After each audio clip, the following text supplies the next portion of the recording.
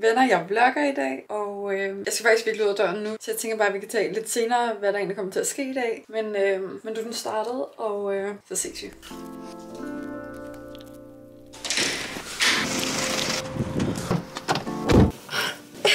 Jeg skal lige have fat i min telefon. Sådan der. Nå, jeg har faktisk rimelig, jeg har faktisk rimelig travlt. Men jeg skal bare nå et tog om 20 minutter, og så skal jeg faktisk ind til København. Og inde i København, der skal jeg mødes med min chef Marco. Og derinde, så skal vi faktisk til møde med Magasin. Så det er fucking nice. Til jer, der ikke ved det, så arbejder jeg for det, der hedder Bag DNA. Og Bag DNA er kommet i Magasin, så det er derfor, vi skal ind og holde et møde med dem. Og efter, at jeg har været til møde øh, med Marco og Magasin, og jeg tror måske også, at vi har et andet møde, øh, så skal jeg til et event på Sif Jacobsen med Alexandra, som vi nok kender. Og ja, det tror jeg faktisk bare, at det. Jeg tror bare, at det bliver en sindssygt god og spændende og nice dag i dag. Så jeg vil egentlig bare tage med, og det tror jeg faktisk bare på det.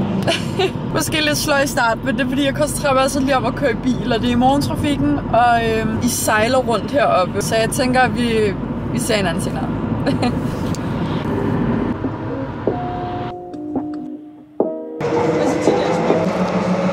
står faktisk i magasin nu. Jeg er faktisk bare nede ved deres toiletter, fordi jeg lige skulle tisse, inden at vi skal derop. Men jeg skal møde med Marco lige her om 10 minutter, øhm, og så skal vi lige købe noget morgenmad sammen. Øhm, og så tager vi op og møder alle de andre. Men jeg ved ikke lige, hvor meget jeg får filmet. Gør mit bedste. Det er Marco. Okay, lige nu så sidder vi på Bistro Royal inde i København. Øh, og vi har lige siddet og holdt et møde, mig og Marco. Vi har været i magasin. Øh, og lige om lidt, der skal vi mødes med en mulig ambassadør, øh, hvor vi skal sådan snakke lidt om fremtiden og hvad der skal, skal ske. Og ja, det er i hvert fald bare planen lige nu. Jeg ved faktisk ikke engang, om I kan høre mig sådan ordentligt. Men ja, vi har som sagt lige fået noget at spise noget at drikke, og øh, jeg tror, jeg snart skal videre.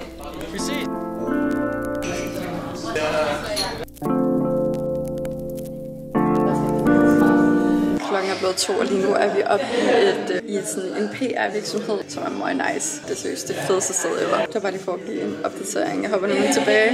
I kan høre, de snakker derhen, så jeg hopper lige tilbage og- med snak. Okay, lige nu så står jeg ude foran Sif Jacobsen, som er derinde, hvor at, øh, Alexandra og jeg, vi skal. Så sådan, lige nu venter jeg faktisk bare på hende, og øh, ja, så skal vi ind og se på nogle smykker sammen. Men vi kan snakkes ved senere.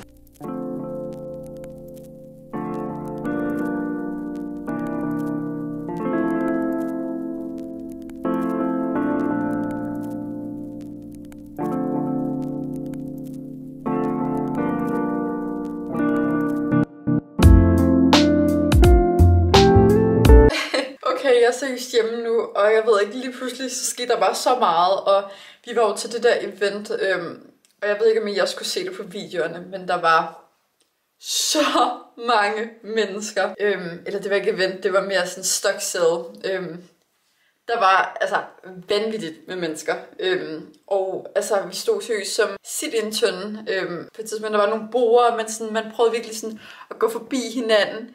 Altså, der var flere gange, hvor Alexandra og jeg, vi var sådan, vi stod seriøst bare og gloede i 6 minutter, fordi folk kiggede på hver deres side, og man stod så tæt, og vi var sådan, vi er fanget her.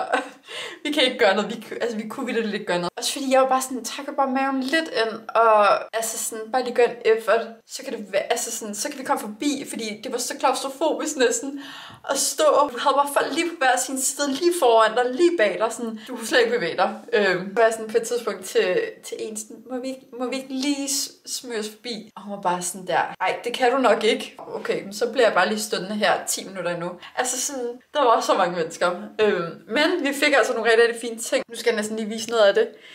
Jeg fik et N, som i Nicolas, det synes jeg var lidt cute, og der er sådan sten i. Jeg ved ikke, om jeg var sådan en nørdekæreste nu, men sådan, ej, jeg synes bare, det var lidt cute. Og jeg har også fået nogle øreringe, det er ikke dem her, men jeg har fået nogle andre øreringe. Og så de ringe, der er på den her finger, har jeg fået. Altså, jeg er vild med det. Jeg havde seriøst den nederste ring af dem. Øh, jeg skal lige fokusere. Den der nederste øh, her. Den har jeg sygt haft før, og jeg har været altså så glad for den. Men øh, ja, jeg har, jeg har smidt den væk. Jeg har vidt lidt jævnligt ting på den der ring. Men øh, og så havde de den derinde, og så var jeg sådan, det er tegn. Det er seriøst et tegn. Så den skulle jeg have igen. Og så synes jeg, den op over, den var bare sådan lidt, Det var lidt cute, og jeg ved ikke hvorfor, men jeg begyndte sådan godt kunne lide sådan bling bling på min ring. Og ja, nu ligner det også bare, at jeg har sådan en, hvad hedder de der? I ved, det der øh, våben. Sådan, jeg kan ikke huske, hvad det hedder. Det ligner bare, jeg har sådan en. Og så for at se, jeg har fået sådan nogle små stickers på min negle. Det synes jeg faktisk er lidt sejt. Det kan faktisk et eller andet. Men nu står jeg bare her og snakker mundlort seriøst. Jeg har lavet noget aftensmad, og det er en helt tør en. Det er sådan krebinetter for flere dage siden. Det, er sådan, det skal bare spises. Og så har jeg lavet nogle ris til, som ikke er kedeligt. Men jeg tror faktisk bare, at jeg vil stoppe bloggen her. Jeg synes, at jeg er lidt bumpet i mit hoved sådan efter i dag. Jeg synes bare, at vi har været så mange steder. Og, og altså, jeg har snakket med mennesker konstant i dag. Altså sådan, og det ligner mig ikke. Jeg plejer at ligge herhjemme. Ellers er jeg i skole i fem timer. Ikke? Og det kan jeg forholde mig til. Ikke? Men når man seriøst har snakket med mennesker siden klokken halv syv i morges, og man er kommet hjem nu, og klokken den er, altså hvad er klokken overhovedet? Klokken er fucking meget. Klokken er halv ni, og jeg spiser først aftensmad nu.